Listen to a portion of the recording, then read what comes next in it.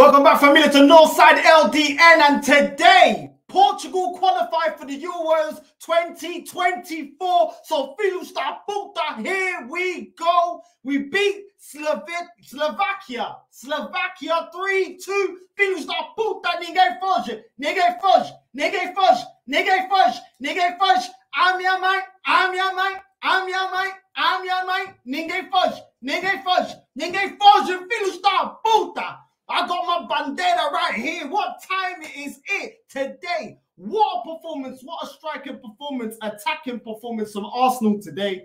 Arsenal, I'm so used to saying Arsenal. Portugal, we're not talking about Arsenal today. We are not talking about Arsenal today. We're talking about Boig, Portugal. Got to get, you know what I mean? Got to represent, got to do this properly today.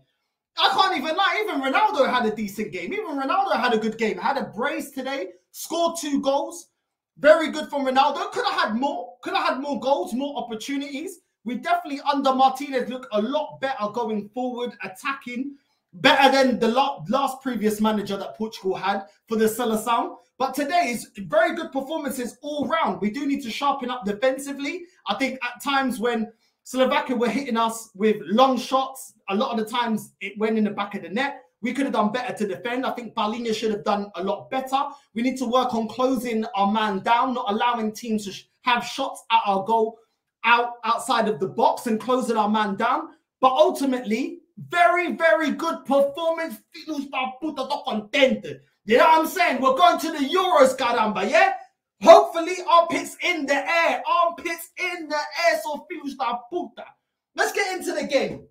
Because I felt like Gonçalo Ramos did very, very well. He could have had three goals. You know, he scored a goal. He opened it up with a goal. He did well to get his to get his uh, first goal. I think he did very, very well. Ronaldo had a brace, scored a penalty, also had um, another opportunity put on the plate from Bruno Fernandes. I think Bruno Fernandes had a very, very good game. Always looking to to find the, the, the front four, um, always looking to attack and create things from deep spamming crosses into the box. I think Bruno Fernandes did very, very well. Bernardo Silva kept us ticking, also provided us with width down that right hand side. Rafael Leao, I know some people may that haven't watched the game may not highlight Rafael Leao today. Rafael Leao today was 10 10. My guy, you know, and he's half Angolan just like me. You know what I'm saying? Isu, that is what I want to see, bro. The guy was always looking dangerous, running down the wing, at the end of the day, Slovakia at the end had to start hacking him and bringing him down and getting fouls. He was drawing fouls. He was taking his man on, creating options, playing off of Ramos. I think Ramos. It took a it took a while for Ramos to start understanding that Rafael Leao was looking for the one-two, and he played immense today. Rafael Leao made so much happen. So much happen. He offers so much, and that speed as well. The guy is techie, bro. Not only can he beat you on a one-on-one, He's also fast. He offers you width. He's fast. He's direct. He doesn't ponder on the ball. He doesn't play it backwards, sideways. Plays it safe. Esse meu tropa, aí. Esse meu tropa. You know what I mean?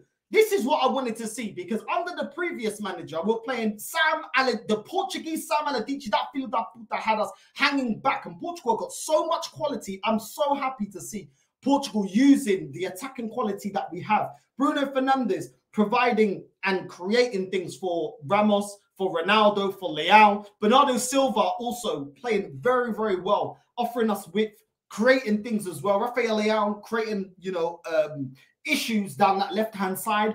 Um, Gonçalo Ramos, I do think there's certain aspects to his game that can improve, but one thing is he's, he's definitely a goal scorer. He knows where to be in the box. His anticipation of the ball is excellent as well. Palhinha, I think, actually played very, very well. One thing from Palhinha I'd like to see less of is being too erratic. At times, he's a bit too erratic, likes to dive in too much. Sometimes, calma, Mofilu, calma. Not everything has to be a slide tackle, but ultimately, I was very happy with Palhinha's performance. I think he played very, very well.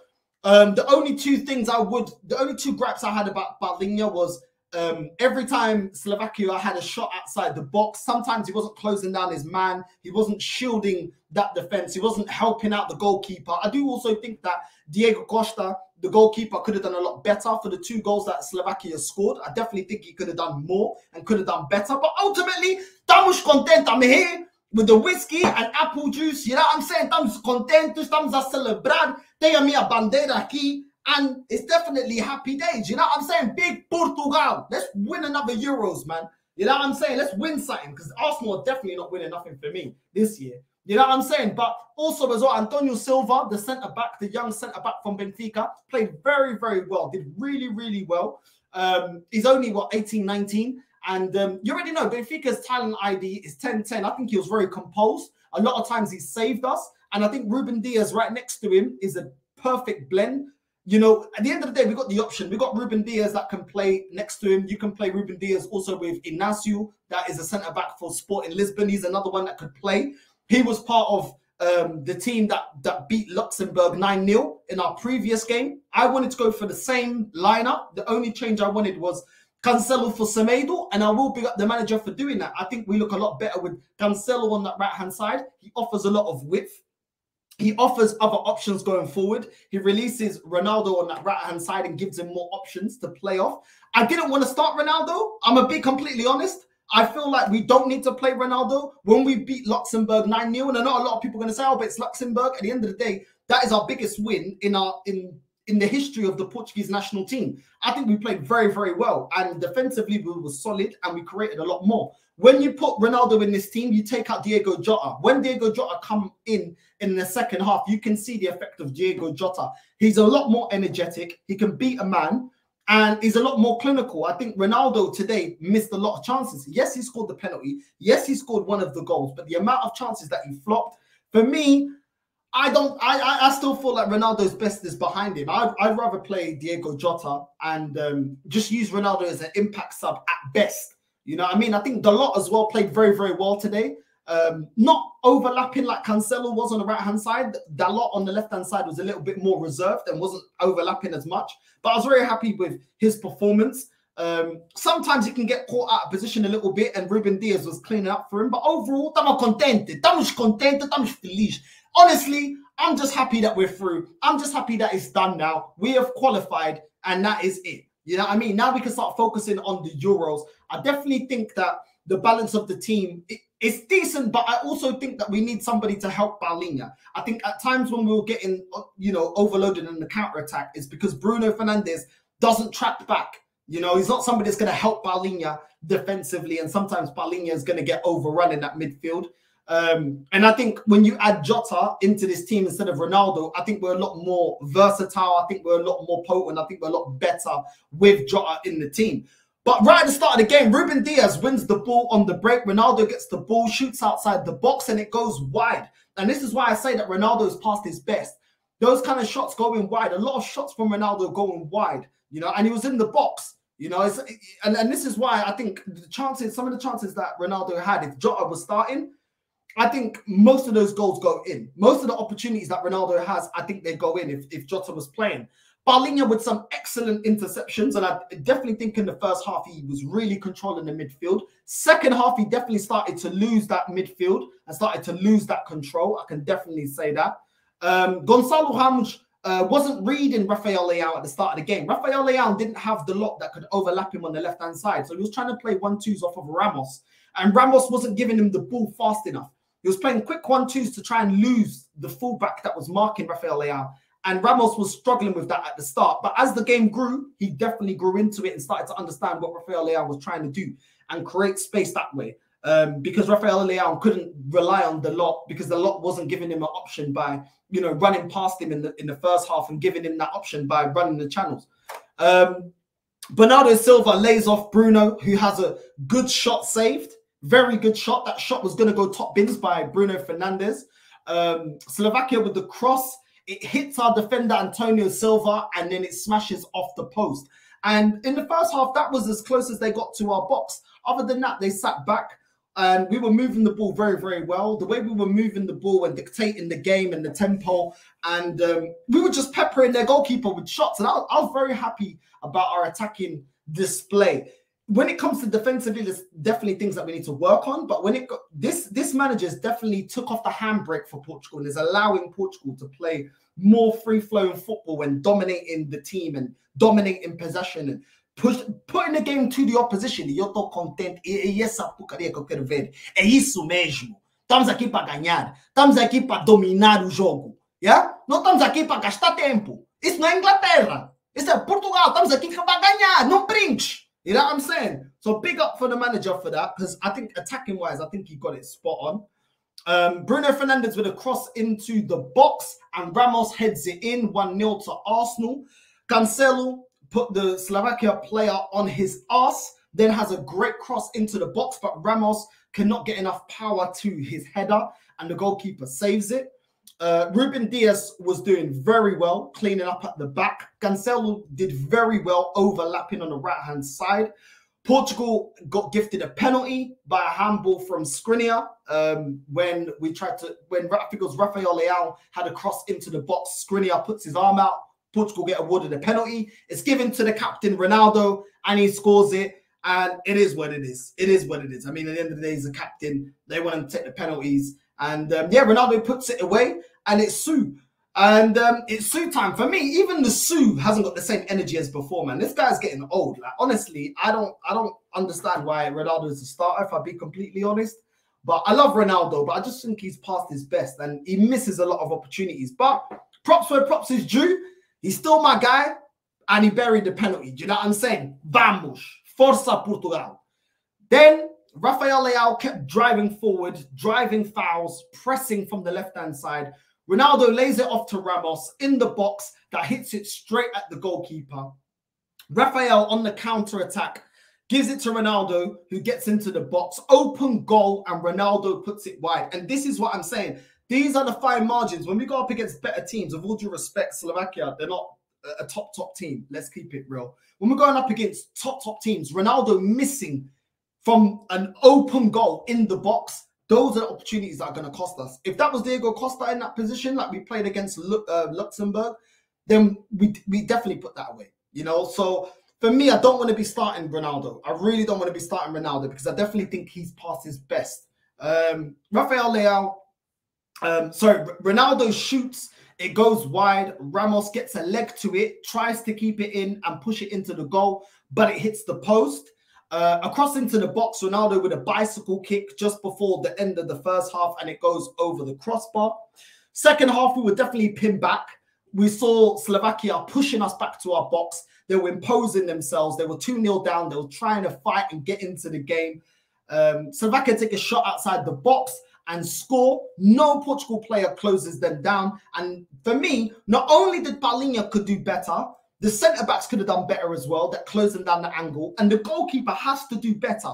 These long range shots, he's got a lot more time to react to it, and he's not reacting to it. And for me, if he's going to continue, I'd rather um, I'd rather Patricio. I'd rather Patricio be the goalkeeper. If if, if Diogo Costa is going to be allowing these these kind of shots, it's not completely his fault because the defense as well is not doing their job and closing the player that's taking the shot. But this ain't good enough. Defensively, it ain't good enough. I'll be completely honest. Uh, Bruno Fernandes with the low cross into the box. Ronaldo's in the far post, hits it in and makes it 3 1. Um, Bruno Fernandes with a shot straight at the goalkeeper that is saved. Slovakia with another long shot from outside the box. No one closing down once again, and it makes it 3 2. And where was Palhinha? Palhinha nowhere to be seen. Centre backs ball watching. The goalkeeper, I don't know what the goalkeeper was doing ultimately, this is where the manager needs to make some some big calls, some big big calls. João Felix, when he come on, he was absolutely sourcing, gives us way more control in the box. He was also willing his jewels, running back, tracking back, winning the ball, taking the ball from from defense, transitioning it back up to attack. Great performance from João, from João Felix. I feel like when he come onto the pitch. Bruno Fernandes and Felix, great one-two playing off of each other all the way into the box. Bruno lays it to Felix, and Felix hits it wide. You've got to be scoring those chances. I definitely feel it. He has to be scoring those chances, but Felix just looked like up for it. And maybe that's the confidence that he's getting at Barcelona now that he's at a team and at a club that he's sourcing that again. Um, in the box takes on three players, gets into the box, takes a shot, and it's saved. He should have scored. He's one on one with the goalkeeper. He did so well to get into that position. He definitely has to score. But overall, Estamos aqui, família. Estamos aqui em Portugal. Estamos juntos. Estamos aqui. At the end of the day, look, there are question marks I have about this manager. I think attacking wise, he completely under. I think he understands how to play this team, allow them to be fluid, allow them because at times Bernardo Silva was out on the right, other times he was going more central. Uh, Bruno Fernandes as well, creating a lot. Jafi, um, Rafael Leao was on the left, but sometimes he went a bit more central. Ronaldo at times went wide, certain times he went back in, making us a lot more fluid in the attack, harder for the opposition to dictate what we're doing. Um, but defensively, we need to we need to resolve that that midfield balance defensively. I think sometimes is not getting enough help. Rafael Leao did very very well tracking back. Bernardo Silva did all right. Bruno Fernandes needs to track back a little bit more and help out defensively. I know he, he's more of a creator, but he needs to help out Palhinha. I think sometimes Palhinha can get overrun in the midfield. There's always other players that we can play, like Danilo Pereira that plays for PSV um, sorry, plays for PSG in France. Uh, he's 32 years old. The only problem with him is is not that rapid, so he can get done for pace. But um, we definitely need to help out Palhinha if we're going to go with Palhinha. I definitely want to continue with Palhinha. Epa, estamos aqui. Ninguém foge, ninguém foge, ninguém foge, ninguém foge. A minha mãe, a minha mãe, a minha mãe, a minha mãe. Ninguém foge, ninguém foge, ninguém foge, filhos da puta. Estamos aqui. You know what I'm saying? Vamos ganhar o erro. And we need to win. You know what I'm saying? We need to win. Yeah? Big Portugal. Yeah? We're at it. You know what I'm saying? We are at it. You get me? Yeah? Big Portugal. End of the day, we're, we've qualified. Let's move on. But this manager does need to work on us defensively. Like I said, I was very happy with the team for Luxembourg. Just change Cancelo on the right hand side. Play the same team. We won 9 0 against Luxembourg in our last game. We didn't need to change that much. Going, you know, trying to accommodate with Ronaldo, playing Ronaldo and Ramos up front, you take an extra body out of midfield and you can see it leaves us more vulnerable in the attack. I think it's better to go back to the team that we had against Luxembourg. Add Diogo Jota into the team. We have more bodies in the midfield and we'll look a lot better defensively and attack because you need a balance. You can't be all guns blazing and you can't be too defensive. So that is how I feel about it. Familia, make sure you like and subscribe, hit the bell notification. Tell me if you like the game. Tell me your thoughts about the game. Tell me if you see the highlights, what you make of this Portugal team. We definitely have a lot of talent. Rafael Leao, Gonçalo Ramos, Ruben Dias, Antonio Silva, Cancelo, Palhinha, Bruno Fernandes, Bruno, uh, Bernardo Silva. We definitely got we got a lot of uh, talent. Inacio, we got too much talent. Pedro Neto didn't play today. You know what I mean? Ruben Neves. There's so much talent in this Portugal team. And I just hope that the manager gets the right balance. And I think he needs to go back to what got us uh, a, an incredible result against Luxembourg. Make sure you hit the like and subscribe. I'm out, familia.